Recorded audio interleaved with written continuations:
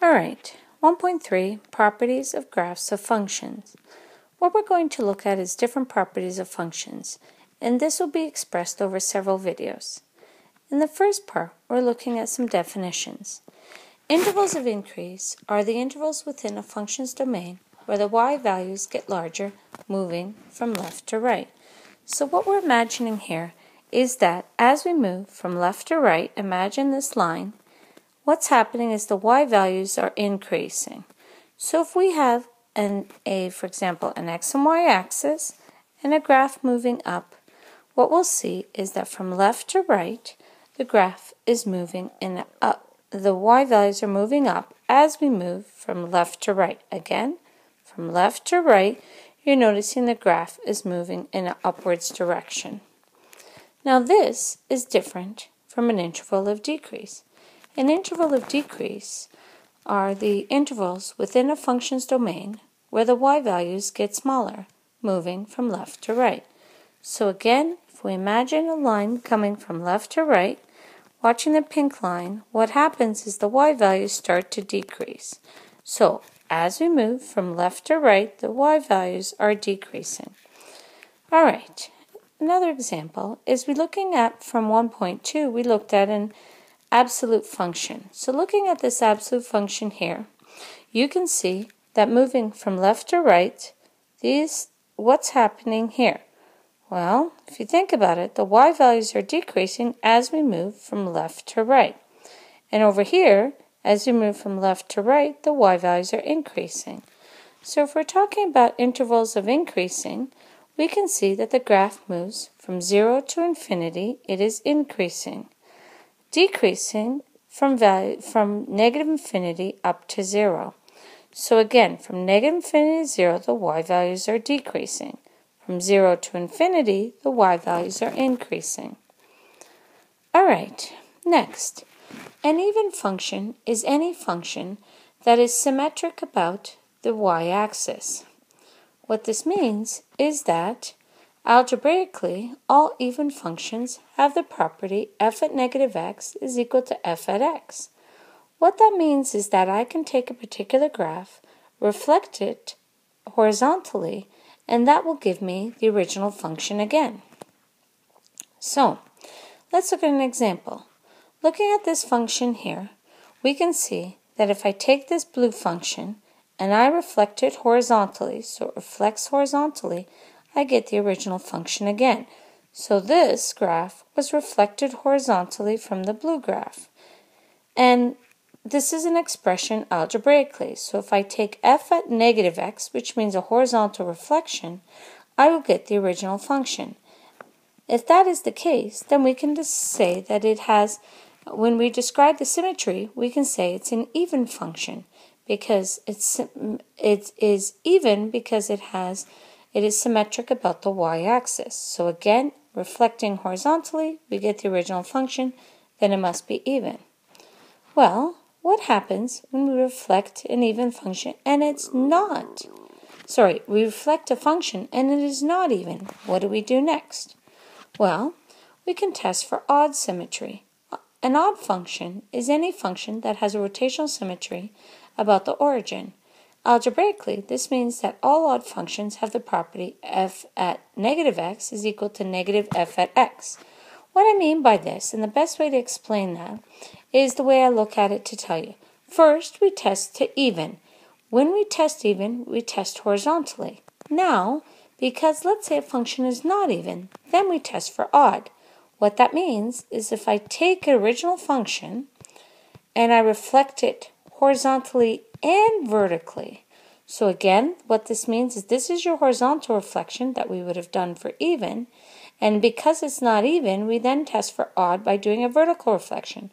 If we reflect horizontally, then we reflect vertically, and that function is back to the original function f at x, that means, folks, that the function must be odd.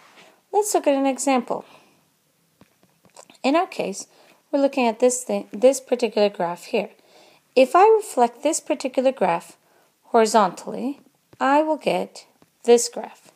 So horizontally, I take it and I reflect it horizontally. What that means then, if you notice, these two functions are not the same. So looking at these two functions, they are not the same. This is reflected horizontally. Then I take this graph and I reflect it. I reflect it vertically. And what happens when I reflect it vertically is look here, folks. There it is. So I first take it and reflect it horizontally to test for even. Even fails. Then I go ahead and test for odd.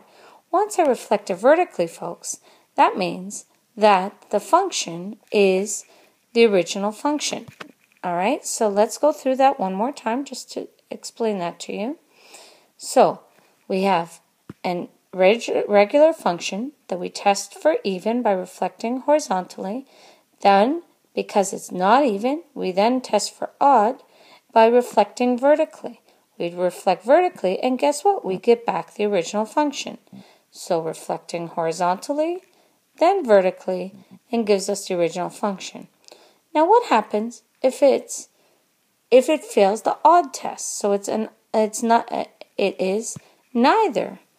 Okay, so neither symmetry happens when a function is neither odd, sorry, neither even nor odd. So we're looking at a function where the even symmetry fails, so reflecting horizontally doesn't match. And then again, we reflect vertically, and that doesn't match, so we describe it as neither. It is neither even nor odd in terms of its symmetry. So let's look at a couple of examples.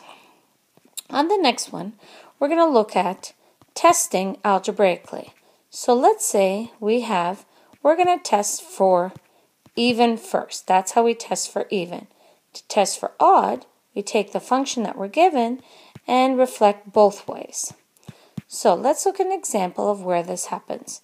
First of all, let's look at a function. Let's call it, let's use the reciprocal function, for example. How do we test if it's even or odd? Well, the reciprocal function, which is 1 over x, that's the equation of it, we first test for even. So f at negative x.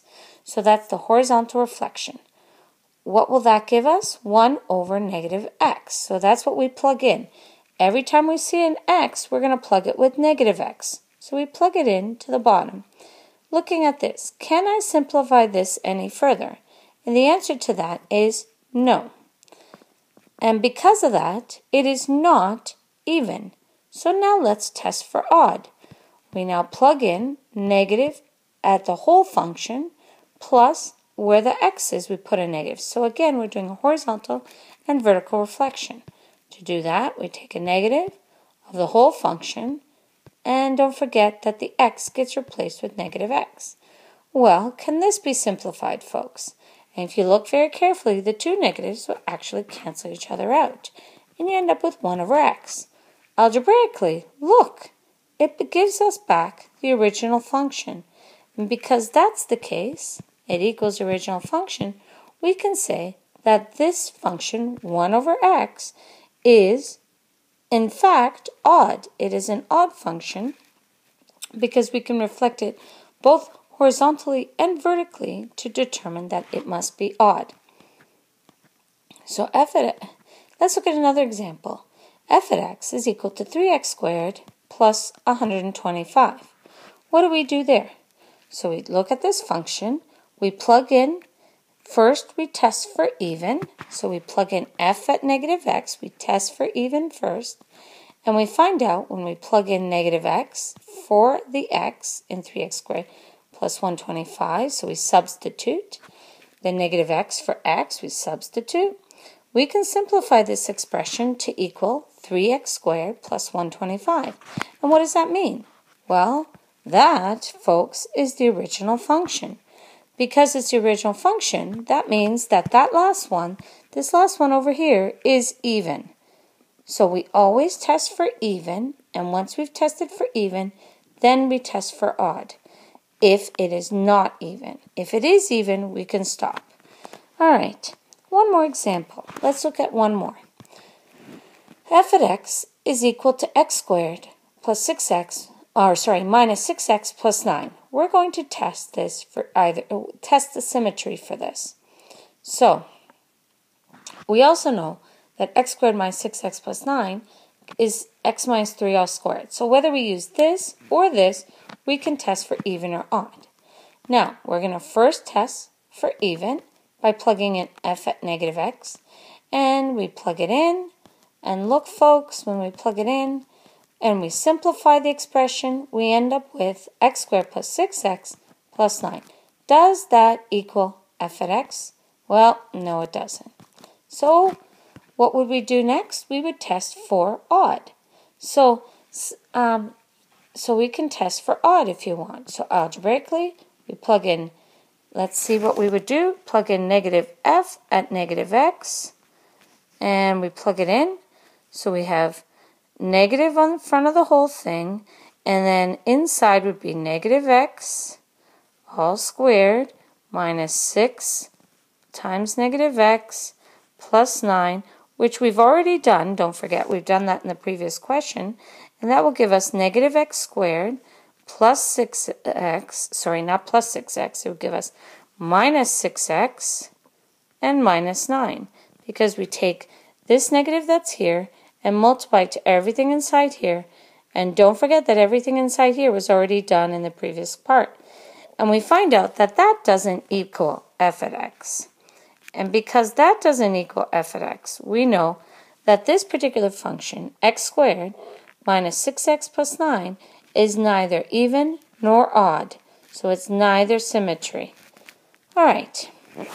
That's the end of the explanation of symmetry. Let's look at one more definition before we go to the next video. A continuous function is any function that does not contain any holes or breaks over its entire domain. So from left to right, there are no holes or breaks. Now, a point of discontinuity is a break in the graph of a function. For example, you're looking at maybe some asymptotes. An asymptote is a break in a function, and a hole. A hole is also a break in the function. Functions can be categorized based on their graphical characteristics, such as their domain and range, x and y intercepts, whether they're continuous or discontinuous based on as- if there's any asymptotes or holes, increase and decrease intervals, their symmetry, whether they're even, odd, or neither, and finally their end behavior. End behavior, folks, has to do with the arrows. What are the arrows doing in each part of the graph? So some whatever how many arrows there are, you're going to describe the end behavior of every one of those arrows. Alright, that's the end of this part of the video, folks. Let's move on to the next video to look at examples of this.